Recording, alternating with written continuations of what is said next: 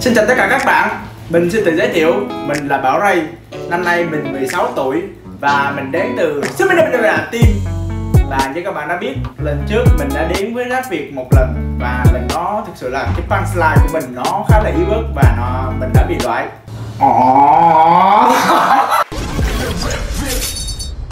Và năm nay mình đã trở lại thông minh hơn, sắc bén hơn và nhờ có sự giúp đỡ của rapper Quơ Khỉ bọn mình đã có quán thời gian làm việc với nhau. Hết sức là ăn ý. Cũng nhờ chính cái ứng dụng clip clap đã khiến cho mình là có được cái không gian để mình có thể giao lưu và trò chuyện à, tập luyện cùng với rapper vua Khỉ. Anh vua Khỉ ơi à, em đây anh chỉ cho em cách rap giống anh với.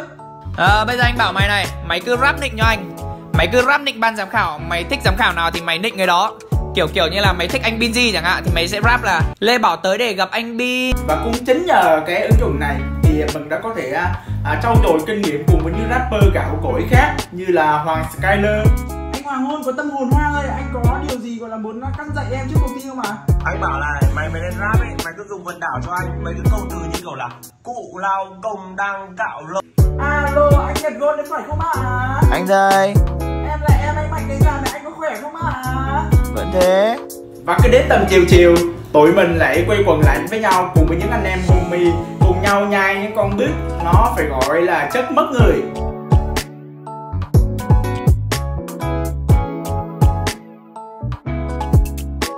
Mà phải là biết chơi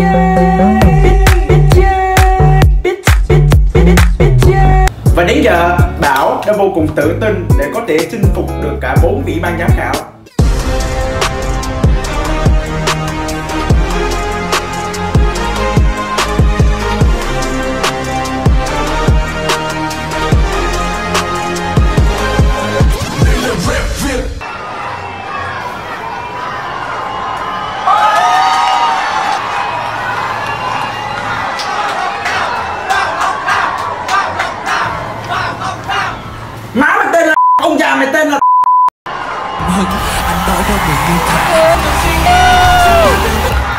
tham gia clip collab để giao lưu và trò chuyện cùng rapper Bảo Ray nhé.